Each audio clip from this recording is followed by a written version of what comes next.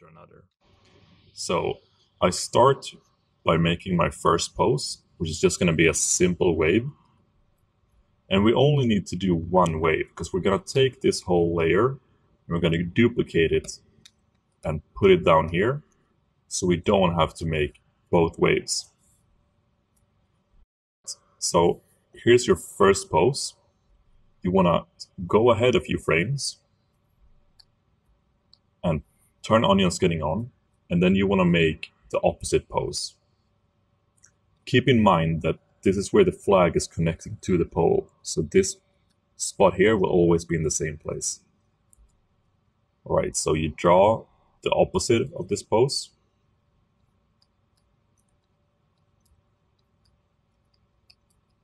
Something like that.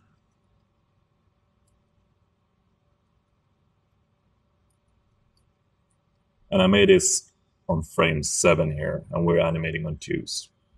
So there will be three drawings before we reach the next key pose. And then we will loop on frame 13. So these two are the same poses, and then the middle one is the opposite. So now I go to my second drawing here. And I still got onion skinning on so I can see my two key poses. So we want to draw the pose that is quarter way in between these two poses. So we don't want to go all the way here.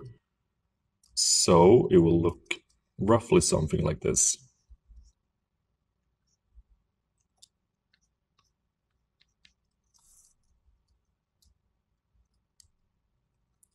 So this point here will reach here. We can actually make this a bit higher.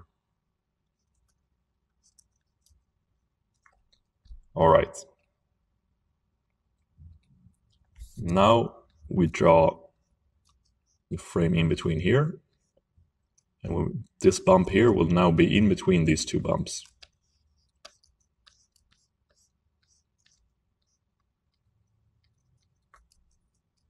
All right, something like this.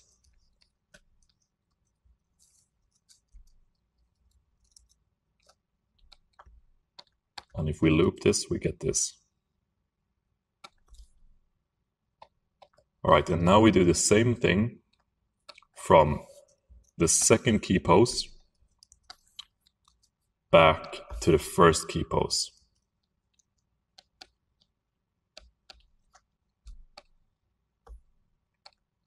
All right.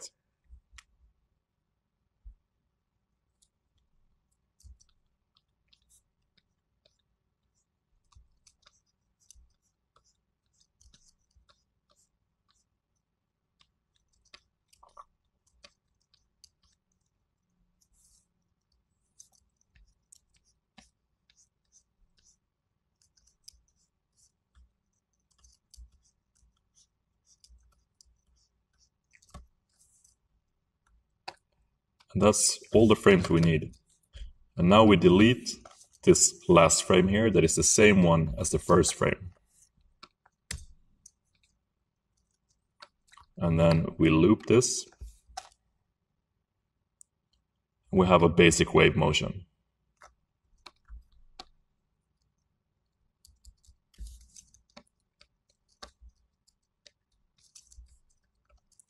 All right, so now we can take this layer duplicate it. And once it's duplicated, we want to grab all these frames and we pull them down. We place them there. All right. So now we almost have a flag. And to make this just a bit fancier, we can grab all these frames and on Mac, you can press Alt and drag them. So now we've looped them twice. And then you want to delete these five frames here. So we offset the wave by one frame.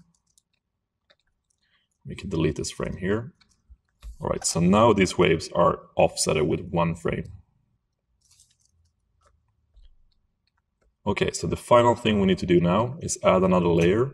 And now we just tie this flag together.